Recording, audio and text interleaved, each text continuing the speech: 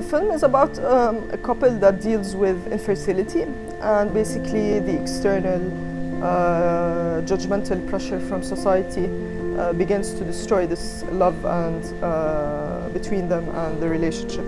It's like an obsession that, that this couple needs to have kids and the traditional uh, social obligations of uh, you're a married couple, you have to have kids now. And you notice that uh, the family of, of, of, uh, of, of the man is very persistent to have uh, a child, even refuses the idea of adoption, which is also a subtext in the film.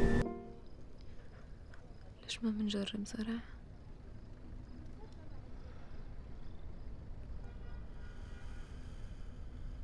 قالوا ما فيش امل You're a whole full woman even if you don't have kids. And even if you don't get married. And even if you don't have a partner. Or even if you.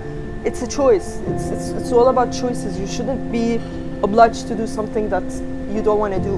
And just to please society. Even for the man.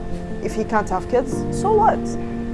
I mean, this shouldn't be uh, such a huge uh, problem. As a woman living in the Middle East, I got sick of seeing women victimizing themselves and feeling sorry for themselves. And it's not because they're weak, it's because they were raised that way.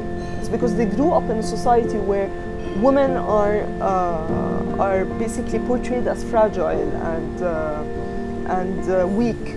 And this is something that we need to change. And this is why I created Salam, because for me, she's my revolution, my inner revolution that comes out in the film, that she's that you could fight, that you can make a choice.